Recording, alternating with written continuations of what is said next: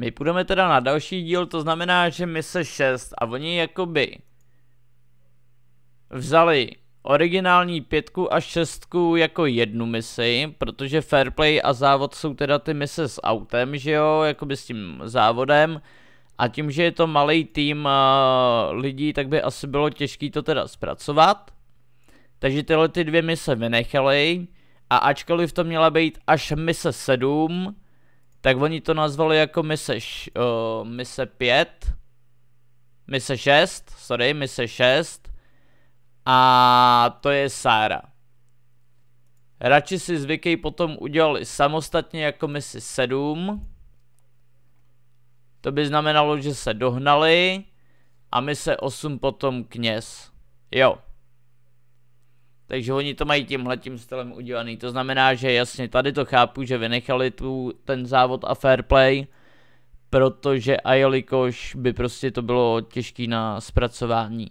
Naopak rozdělili Sáru a radši si zvykají na dva díly, to by znamenalo, že ale Sára by měla být celkem krátká, to samý radši si zvykají, jasně je to kolem, no, není to až tak krátký. A další mise kněz bude už celkem dlouhá a ono kněz by mělo být teoreticky i s courou.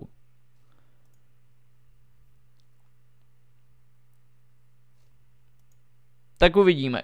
Jdeme na to. Jdeme teda teďka na ne pátou, ale v podstatě až sedmou jakoby misi, což je Sára.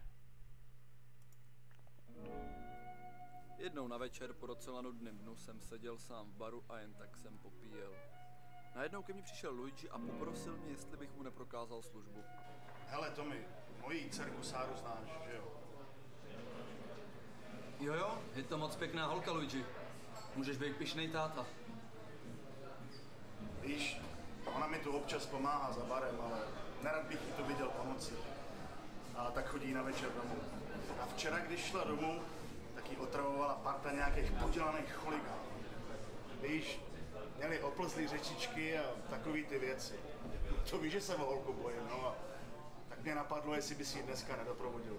Jsi gentleman, ale máš tady v téhle čtvrti respekt a nějaký mladý hejskové si na tebe jen tak nedovolí. A je to jenom kousek. Luigi, prosím tě, vůbec si nedělej starosti. Tohle je samozřejmost. A Tome, ani nevíš, jak jsem ti vděčný. Tohle mi dělalo sakra starosti. Kdo ví, co jsou ty týpci zač. A zítra přijď na oběd. Uděláme ti něco speciální. Sáro, pojď sem prosím tě. Sáro, tohle je Tomy. Dobrý kluk. A dneska večer tě doprovodí domů, aby tě zase neotravovali ty chuligány. Ahoj. Ahoj, děkuji moc. Nebude to trvat dlouho, byli jenom kousek odsud. Jenom se převlíknu a hned můžeme jít. Jasně, počkám venku. Takovou Sáru bych doprovodil taky. Mnou jdete. Ti chuligáni byli opravdu divní. Hrozně jsem se bála. Ale to není žádný problém. Dneska vás doprovodím a příště se s Pavlím o ty rošťáky postaráme. Hm? Vy taky pracujete pro pana Vávru, že? Je to sympatický pán. Vždycky je s ním spousta legrace. Jo, občas pro něj něco udělám. A co vy takhle vůbec děláte? No, většinou Dona jenom vozím. Ale občas dokáže i překvapit. Třeba jako tuhle, když po mně chtěla, abych jel ten závod. Jel jste ale výborně, byla jsem se podívat. Spíš to bylo hodně velký štěstí. Proč tolik skromnosti? Myslím, že musíte být přeci jen dobrý řidič, abyste porazil takové profesionály. Víte, dřív jsem jezdil jako taxikář. Se závodním autem jsem to zkusil poprvé až večer před závodem. No vidíte, máte talent. Hm. Možná na tom něco bude, ale stejně mi to nebylo moc příjemný. Takový druh popularity nemám moc rád.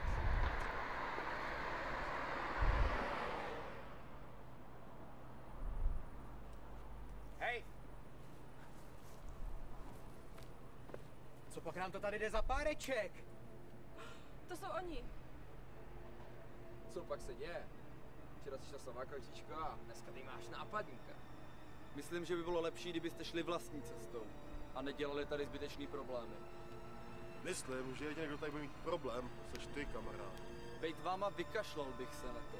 Ještě by se vám mohlo něco stát. Tak pojď.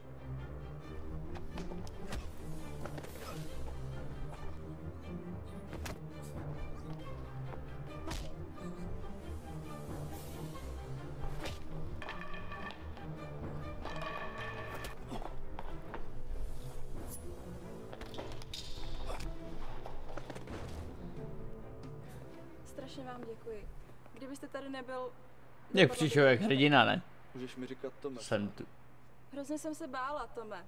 Ukaž, není ti nic? Pojď, už jsme skoro doma, tam se ti na to podívám. Hmm. Budeš ukačka? Bydlím sama, hned vedle tatínka. Maminka nás opustila chvíli potom, co jsem se narodila. Pracujete taky s Paulím? Je hrozně zábavný. Jo jo, s Paulím jsme jedna ruka. A zábavnej to teda je. Kolikrát si říkám, že by se měl stát hercem. Někdy je ale pěkně divnej, až mi trošku nahání strach. Nevím, jak je to možné, ale najednou se tak změní. Myslím, že už si toho v životě asi musel hodně prožít. Jo, tak na to, kolik mu je z toho zažil opravdu hodně. Vyrůstal na ulici a všechno, co teď má, si musel pracně vybudovat. Proto se k cizím lidem občas chová jako surovec. Taky je hodně vděčný do Vávrovi. Kdyby se o něj nepostaral, tak kdo ví, kde by byl. I mému otci pan Vávra hodně pomohl a ke mně se chová skoro jako vlastní dědeček. Don Vávra je hodný člověk. No jasně, to bude velká partie šachů v posteli, vole.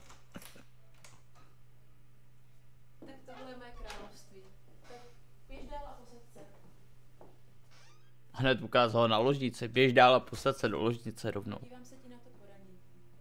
Hm, a je to už v ložnici. Vyhrňte si rukáv, pane. Pomoc už se blíží.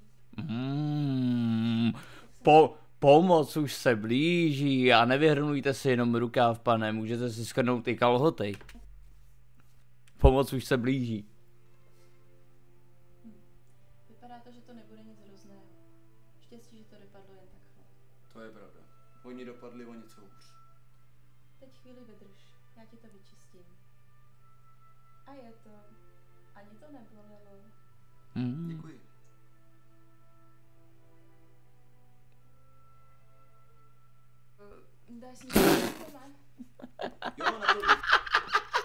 Co to bylo, vole? Co to bylo? ne, ne. Hej, co to bylo? Co to mělo být toto? Děkuji.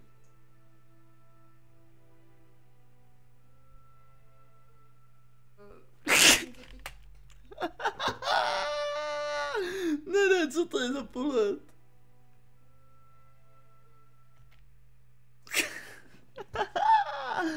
tak to ne, ne. Dáš si něco k pití, Tome? Jo, napil bych se. Bylo by trochu whisky? Eh, Polip mě, jo. Co chce kráva, kurva? Uh, tak nic. Jo, napil bych se. Bylo by trochu whisky? Určitě.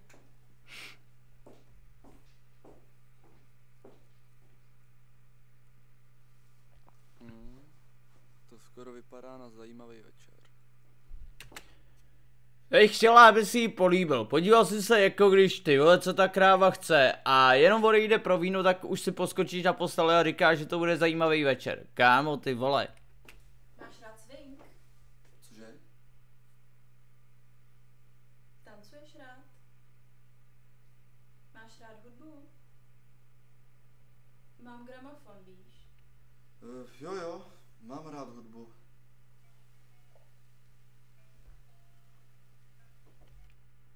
Já si asi budu muset zopakovat uh, a podívat se na YouTube ty vole na Missy Sára, vole.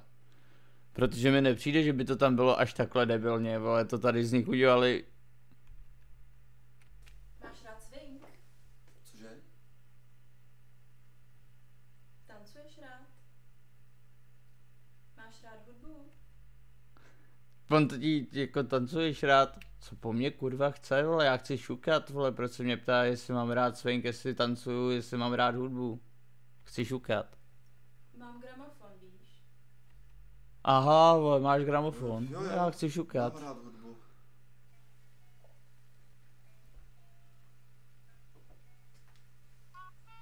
Jsou Vávrovo zlí muži na každého tak zlí? Zlí muži dělají Bylo, no, jako lehce. Věci a nevybavují se s nimi přitom. Někteří možná ano. Ale jenom někteří. Ty nejsi Vávrovo zlý muž. To tam bylo, no, s tím zlým mužem nebo tak. Jsi moc hodný zlý muž. Někdy jsem i moc zlý.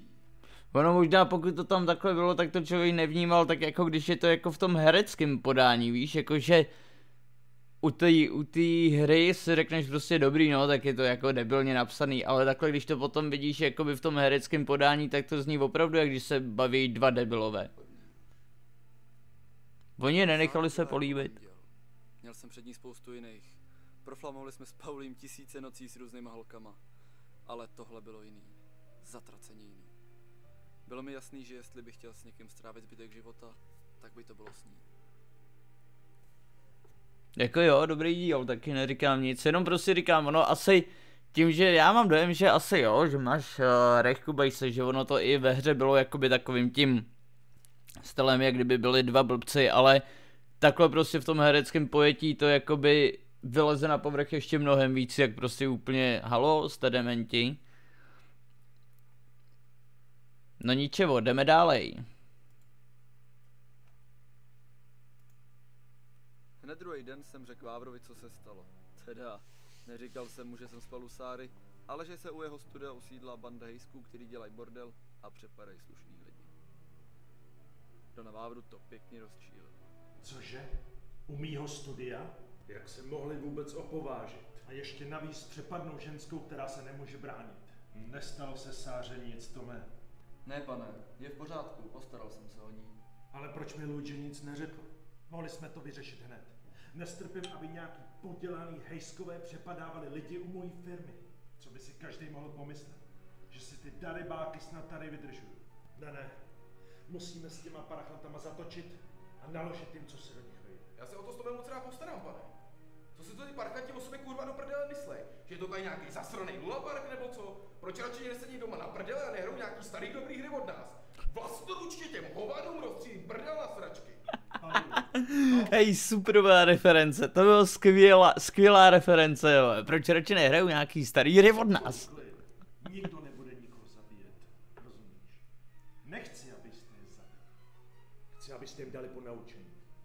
Chci, aby Ten frajer, jste jim zpřelámali všechny kosti v těle. Aby leželi na ulici ve vlastní kaluži krve. Aby museli do konce života jezdit na kriplkáře a slintaci na košili. Aby se malé děti smály jejím sešívaným ksichtům. Prostě, aby do konce života každý viděl, co se stane, když se budou okomejtat v blízkosti moje firmy a dělat bordel! To zní zajímavě, pane. Neříkám, že ten, co hraje Tommyho, by byl nějak bůh jak špatný herec. Ale ty dva, ty vole, ty hrajou fakt skvěle, jakoby to dokážou, i tu intonaci, když, jo, když tam prostě ty, padají ty, kat, ty hlášky. Mohl by to vědět tlustý biv. Stojí na náměstí v centru města. Zajděte za ním, zjistěte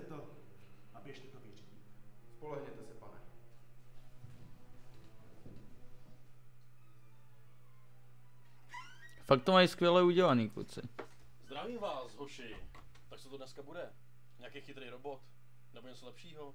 Potřebovali bychom zmlátit pár týpků, Vinci. Tak na to, mám tady tyhle parádní pálky. Na týhle je dokonce podpis nejlepšího hráče ligy. Nekecej, tomu jsem vždycky fandil, fakt je to pravý? Leda hovno. A když si někoho prásneš do ksichtu, tak se tě na to určitě ptát nebude. Pro jistotu nám dej nějaký bouchačky. Člověk nikdy neví. Moje řeč. Měl bych tu tyhle Colty 1911. Jsou to parádní automaty. Díky moc, Vinci. Měj se.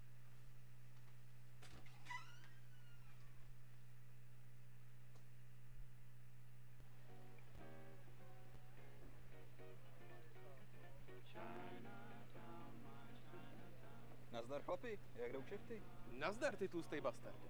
Potřebujeme jednu malou informaci. No co běží? U Vávrovo firmy se usadil nějaký gang chuligánů a otravou slušným lidem život. Dokonce měli nějaký nekalý úmysl s Lužího dcerou. A nebejt tady Toma, kdo ví, co by jí udělali. Potřebovali bychom vědět, kde se scházejí, aby jsme jim vyřídili vzkaz od Dona Vávry. Máš sakra štěstí, Paulí, že jsi přišel zrovna za mnou. Ale vím, o co běží. Pár lidí už s mám měl nějaký problémy a říkali, že se scházejí u starých garáží poblíž nemocnice. Je to kousek odsud. Dá se tam dostat takovou myší dírou mezi paneláky. Pozdravuje i ode mě Paulí. Díky, Bife, máš to u mě. My už musíme jít. Jasně, chlapi, mějte Fakt- se. Fakt to mají zajímavě zpracovaný. Jsem zvědavý i na ty další díly, co ještě mají pak přibejt. Má to být dohromady 20 dílů. Ale zatím furt jezdí slabý. Jdeme na to. Už to chce oktávku. Tome, pamatuj. Žádný bouchačky.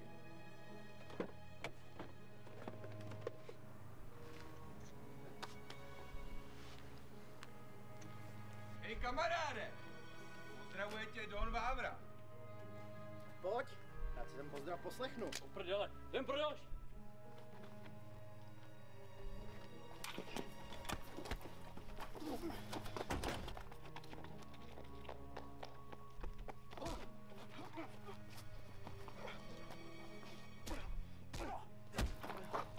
Tady chcíprek, hajzle.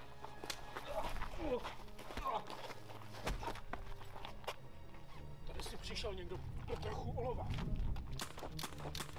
Ty parchanti vytahují bouchačky. Vyser se na baseball, postřílíme ty svině, tady na okrk. Na jednou.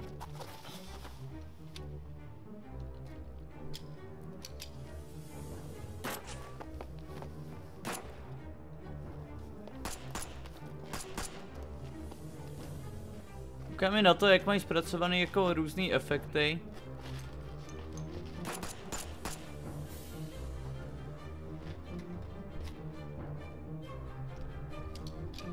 Některé efekty nemají špatně udělaný.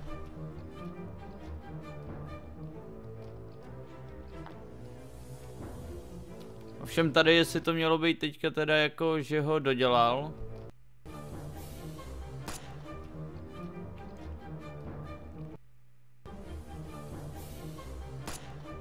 Jo. Tak se mohl za prvý ten frajer trošku pohnout a...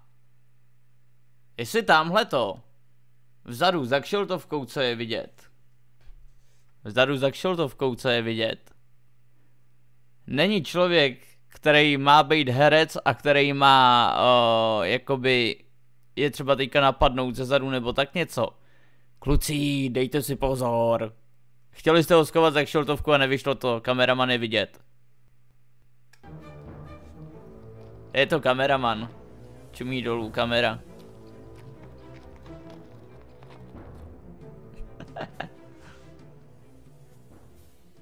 O co se to tady jako snažíš, frére?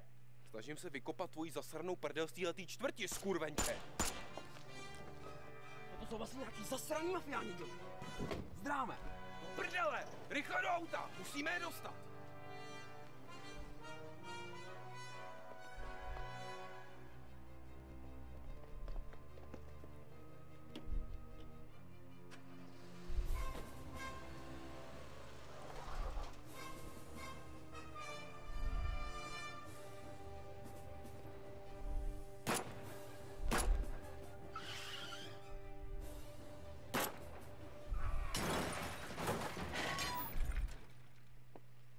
Ta rouška tam.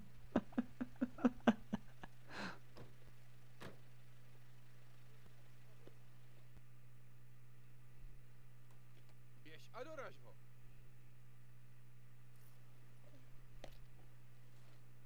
Co? Co pak? Je ti ho líto?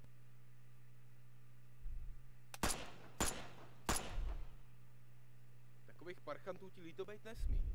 Je sice bezbranej, ale při první příležitosti by tě narval kudlu do zad. A tohle to už má za sebou. Máme o starost míň. jo, takhle. Něco by asi tak dělala moje matka nebo Sára, kdyby mě tady takhle viděli. Co koukáš, jako by ti spadly hračky do kanálu? Vzpomeň si, kdo ti chtěl včera vojet holku. Na tohle si budeš muset zvyknout. Zvyk jsem si. OK, čete. Taky zajímavý díl. No a my jdeme na poslední, aktuálně poslední díl. Brzy vyjdou nový.